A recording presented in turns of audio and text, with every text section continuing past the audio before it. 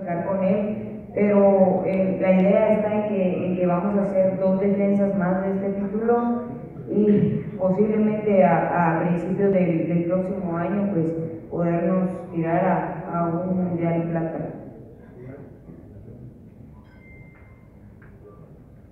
María, sin duda tu, tu carrera la iniciaste aquí en México. ¿Hay algún interés de tu empresa y de ti hacer una defensa aquí en territorio mexicano?